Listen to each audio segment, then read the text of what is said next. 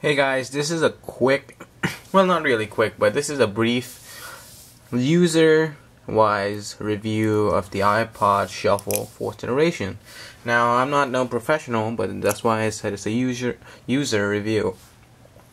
Now I wanted to do the unboxing, but I couldn't, cause at the time my camera battery was low and I couldn't wait five hours to wait for my Canon to charge, so I just opened it myself. Well, your iPod Shuffle comes in this case. It's a small case, and I really find it like a case in which you would put your ring or something like that. Or maybe it's just me, I'm lame that way. And it's 2 gigabytes, by the way. It cost me 40 $50.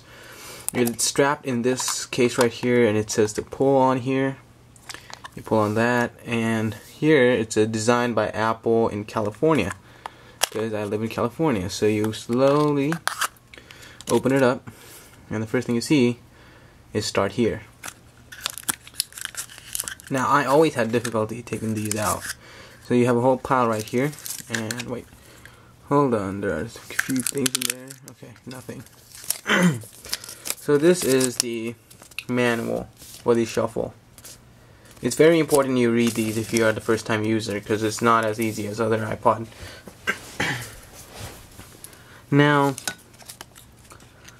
uh, you, I recommend starting reading from this side because here it says, you know, from starting from download uh, and install iTunes to connect and, and all that from all the controls that you can do. Next thing you got here is your warranty and product information. You have a one year warranty on this thing, so it's pretty good. One year and you have your sticker that's like stuck in here right now and I can't okay there you go. So here's your Apple logo sticker. I guess you guys can make it out from here. Oh wait never mind. You guys can make it out from here. It's an Apple logo. But the thing is it's bigger than the shuffle. So yeah. Now for the now inside you'll have one of these. It's a USB cable for the uh, fourth generation shuffle. And you have this plug here and you just shove it in there. And this is basically your charging way. Or you can use that. It does not come with the AC adapter but you can still use AC adapters from your iPhone or iPod and you can still use that as a charger and the other thing it comes with is this headphone, which I believe is, I don't know how many, I don't know, but it does not have the voice control or the volume control. So it's not just a plain old iPod headphones, but if you were to buy these alone, it would cost you a good amount of money, even though they're just normal regular headphones. Well, they do have good sound quality, the way they're built. It's built tough. Built for quality. So, now, going on to the actual device. I bought the silver.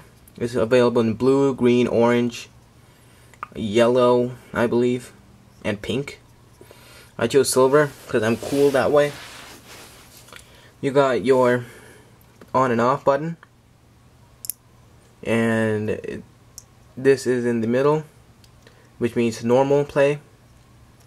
Pushing the side it's shuffle turn it all the way back, it's um, off.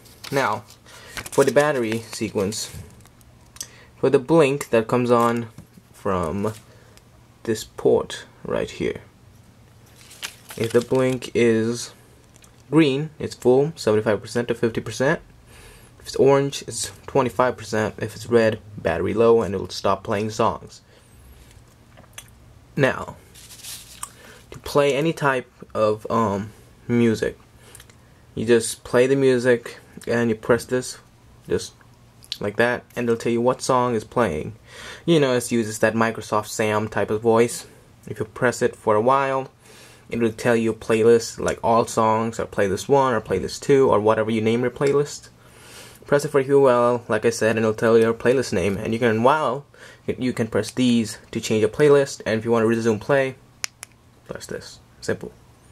Now, for $50, 2 GB, gigabytes, it can hold very good amount of music probably 500 and um, it can also be used as a flash based USB device. But to synchronize music into it you need iTunes. Now you can use this as your you know flash drive. But to put music you need iTunes. Just make that clear. You'll understand it by yourself here are a few voiceover buttons Press to hear the soundtrack, press and hold to hear playlist menu, play, pause, press play, pause to select playlist, press twice to hear battery status. On the back side, you got your press play or pause button, your layouts, your button configurations, and some contact information. And start here. So here we start again. Blah blah blah. So I bought mine at Walmart, by the way. I know, I know, I suck. But, yeah. So this has been my review for my iPod Shuffle. Man, I make a mess. And thanks you guys for watching, and I'll see you guys next time.